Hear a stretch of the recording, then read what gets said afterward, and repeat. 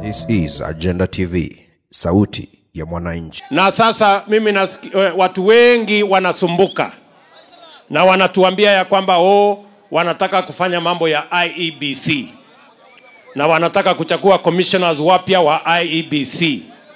Mimi nataka niseme hivi, sisi hatuna shida na IEBC, wachaguliwe wale wanachaguliwa kwa IEBC. Sisi tunajua kura inaamuliwa na wananchi pale kwa polling station. Kwa hivyo chairman anaweza kuwa mtu yoyote, commissioner anaweza kuwa mtu yoyote, na sisi tuko tayari and we have confidence in the institutions of our nation. Kwa hivyo watu wasikuwe na wasiwasi. Nasikia wengine wanasema ati Ruto amechengwa kwa hiyo mambo, ya IEBC.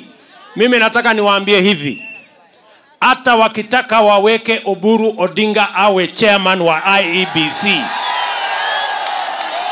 mimi sina shida, mimi sina problem, kwa sababu mimi najua hawawezi kuamua, wananchi ndio wataamua. Ama mnasemaje? Tuko pamoja?